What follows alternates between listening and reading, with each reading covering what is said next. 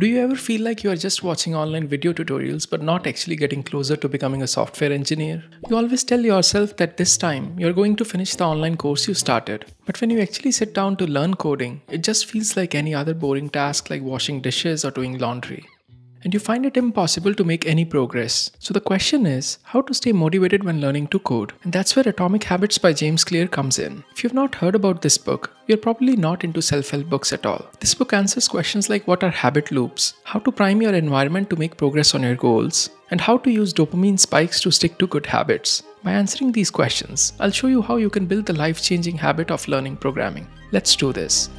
Imagine a plane taking off from Los Angeles for New York. Just before the takeoff, the pilot accidentally changes the flight path by 3.5 degrees, which is almost negligible. It's such a small change that neither the cabin crew nor the passengers notice anything. When the plane lands, the passengers find themselves doing a sniff test because they are walking on the clean streets of Washington, D.C.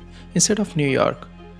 The point is that very small changes can completely change the trajectory of our lives. And just like the cabin crew and the passengers, we do not see the immediate results of these changes. But in the long run, the effect of these tiny changes compound and the final outcome can be very different. As a new programmer, you would think that you need to build something revolutionary to make it into the tech industry. But in reality, all you need to do is take small steps towards your goal every day and you will be there before you know it. Keep scrolling Instagram and watching Netflix, and you will be no better programmer than today in one year. Build tiny atomic habits that help you learn programming every day, and you'll be very close to landing that software engineer job in one year. Building habits is fine, but sticking to them is where the real challenge lies. That's because you might not feel that your programming skills are improving from day to day. When you start learning programming, you expect to see a linear improvement. But here is what actually happens. In the beginning, you will not see any results. James Clear calls this part of the graph the valley of disappointment. This is where most people lose motivation, give up, and go back to their old habits. But in reality, the returns for your effort are actually delayed.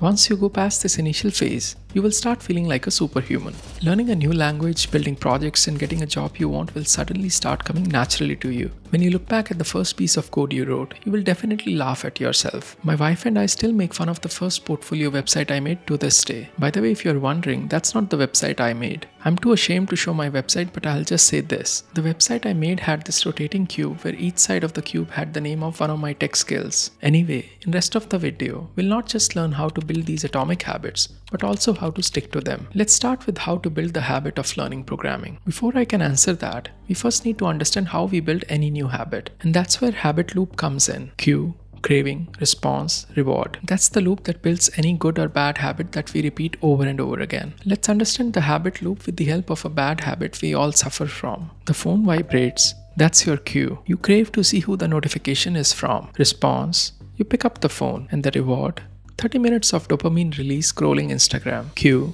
Feeling bored with the video tutorial. Craving. Want to see something entertaining. Response. You pick up the phone. Reward. Watched entertaining Mr. MrBeast videos for another hour. Soon your mind starts making these associations between watching YouTube when you're getting bored with your tutorial, and you end up building this bad habit of wasting your time during your programming session. But can you use the same habit loop to build good habits? Let's start with the cue. When you want to learn programming, what is that one thing that you need without which you cannot even start your lesson? No, I'm not talking about a cup of coffee here. I'm talking about your laptop. Can you use laptop as your cue and guilt yourself into learning programming? The answer is yes, and that's exactly what James Clear recommends in Atomic Habits. He suggests that you should make your cue unmissable by placing it in the middle of your room in full view. Even better if you can place it where you waste the most amount of your time. If you play a lot of video games, place it near your gaming chair so that it's visible when you start a new game. Cue alone would not be sufficient. You also need to use implementation intentions to your advantage. Studies have shown that often why people don't stick to good habits is not because of lack of motivation, but because they don't have clarity of what they want to achieve. When you say tomorrow I'll learn programming, it's just an intention that has no clarity. So instead of saying that, you should attach an implementation plan to your intention. So instead of just learning programming, you should say something like, every time the alarm goes off in the morning, I would get up and do a programming lesson for two hours on my desk. By making this small change, you will provide your mind clarity on what to do right after you wake up. Another way to do the same is by stacking habits. Stacking habits simply means attaching a new habit you want to build with a current habit. So instead of doing a programming lesson when the alarm goes off, you would say something like, right after I brush my teeth, which I hope is a habit you have already built, I would do a programming lesson for 2 hours on my desk. If you stack habits like this, you're more likely to stick to them provided you practice them long enough. And don't forget to place your laptop in the middle of your room for this to work. Cue along with implementation intention will give you the motivation you need to start learning programming. But this motivation by itself is not enough to keep you going. That's because we humans don't do things for which we get nothing in return. To understand why that is, we need to first learn about the motivation hormone dopamine. In 1954, neuroscientists did a study where they blocked the release of dopamine in lab rats with the help of electrodes, and what they found was astonishing. Without dopamine, these rats lost their will to eat, drink, or reproduce, and as a result, all of them died. This sad experiment tells us how important dopamine is for motivation, and here is how it affects us humans. Dopamine is released every time you swipe up on an Instagram reel, and the same dopamine is also released when people do drugs. In both cases, dopamine is responsible for creating these cravings that make us do these bad actions again and again to a point where these actions become our habits. But can we trick ourselves into using the same dopamine to build good habits? Before I answer that, if you want to give me a huge dopamine spike, you can subscribe to the channel. Moving on, an engineering student from Ireland named Ronan managed to use dopamine to his advantage. Ronan wanted to become fit by exercising more, but he could not find the motivation to work out. Instead, he would spend hours watching Netflix. So, what did he do to exercise more? He combined the two. He connected his bike to the laptop and wrote a program that would let him watch Netflix only if he was cycling above a certain speed. This is called temptation bundling. You take something that you already enjoy doing and use it as a reward for the habit you want to build. Here's how you can use temptation bundling to help you progress in your programming lessons. You can write a program that tracks the amount of time you spend in your code editor. This program can then use this time to control the amount of time you get to spend on your phone. By doing this, you can directly tie learning programming to a habit that you already enjoy doing. If anyone in the Power community wants to take up this challenge to build this program, let me know in the comments. I'll make sure to share your program with everyone in the community. Another thing that can help you build the habit of programming is the 2 minute rule.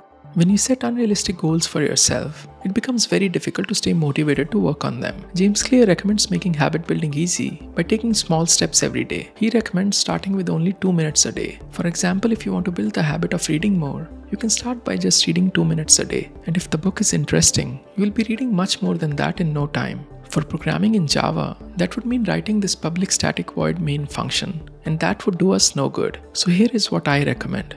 Two exercises a day, and if you stick to it for 30 days, I'm very sure that you'll be doing more than two exercises in a day at the end. If you're willing to take this as a challenge, write hashtag 30 day challenge in the comments. Come back in 30 days and post a reply to this comment to share your progress. I'll be waiting. Building the habit to learn coding is one thing, but being efficient when learning to code is even more important. If you want to know how to learn more in less time, watch this video. My name is Sahil and I'll see you in the next one.